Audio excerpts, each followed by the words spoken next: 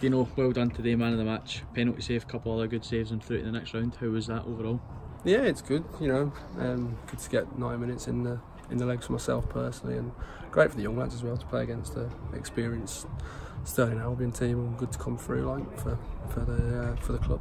As I mentioned, there a penalty save. You saved one in the, the first round as well against East Kilbride. Well seen you've been training with Vaclav, eh? yeah, learn from the best. Don't you? Just no, it's uh, just one of them things. You know, just try and save it and make the make the right decision to, go, to which way you're going to go. Just try and keep it out really. Just in terms of the younger boys today, how much does it mean to them to keep progressing in this cup and, and get the chance to play against teams like Stirling Albion? Yeah, I think it's, it's massive for them because you know it's you're playing against you're playing men's football really, and it's you know good learning curve for them. And to be fair, the three games I've been involved in, they've they've been excellent with the, the way they've set up to, to the test, and um, you know it's only it's only good for them really to, to play in these competitive games.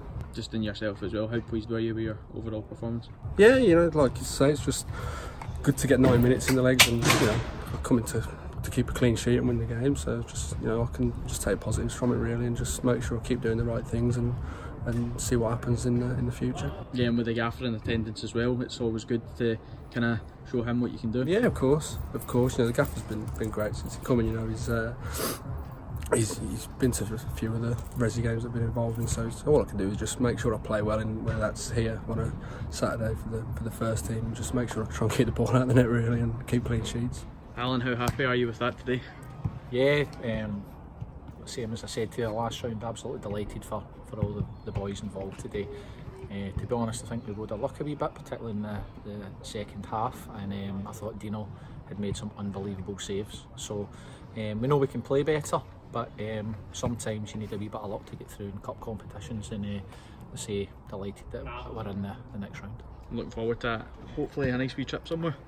Um, do you know, we'll, we'll take any, anywhere to be honest. Whatever, eh, sorry, whoever we draw, we know that we're going to be the underdogs anyway. But you know, the boys have got a wee bit of momentum, um, and as I say, absolutely delighted that we're in, in the next round. So uh, we'll take anywhere. I know you're talking about how you feel the team maybe could have performed a wee bit better today, but it's a real testament to the group that they've managed to actually get this far, isn't it? Yeah, absolutely. I think you know the, the teams that we've played so far in the tournament, we've been underdogs every game, um, and rightly so. And at times, you know, we've we've had to change our game model and how we want to play, and, and give the teams that we're playing against more respect, um, because they're physically bigger and stronger. Um, but today, I thought we defended very well at times, um, but ultimately we can show better quality uh, going forward, and that's something uh, we'll work hard on and be ready for the next uh, round, hopefully.